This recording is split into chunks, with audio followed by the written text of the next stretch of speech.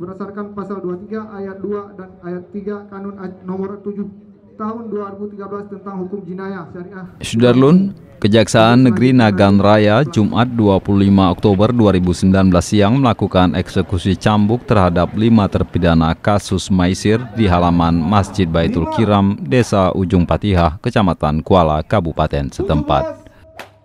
Selesai. Pelaksanaan eksekusi dimulai pukul 14.30 waktu Indonesia Barat. Diawali Iman Suprianto dengan 18 kali cambuk, namun karena sudah menjalani hukuman 35 hari sehingga dikurangi satu kali cambukan.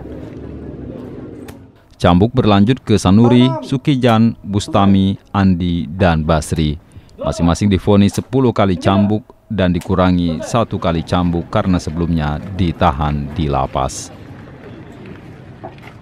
Di akhir kegiatan, lima terpidana tersebut diberikan surat bebas.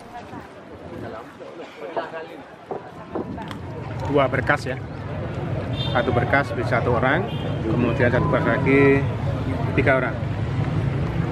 Teman-teman lihat bahasanya tadi ada sesuai dengan putusan Mahkamah Syariah yang satu berkas hukuman cambuknya 18 kali hanya dikurangi karena dia sudah menjalani hukuman selama 30 hari sehingga menjalani buka cambuk sebanyak 17 kali.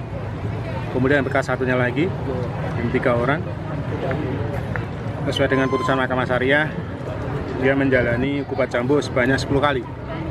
Karena Mas Eman sudah menjalani pidana di lapas kelas 2 BIM Lapas selama 30 hari sehingga pelaksanaan kali ini dicambuk sebanyak 9 kali. Dan dari dua berkas itu semuanya hukum jinayat dari kasus pidana maisir. Itulah teman-teman yang kita dapat sampaikan kali ini. Ini maisir semua, Pak? Maisir semua. Apa? Eh, maisir ada sama satu judi online.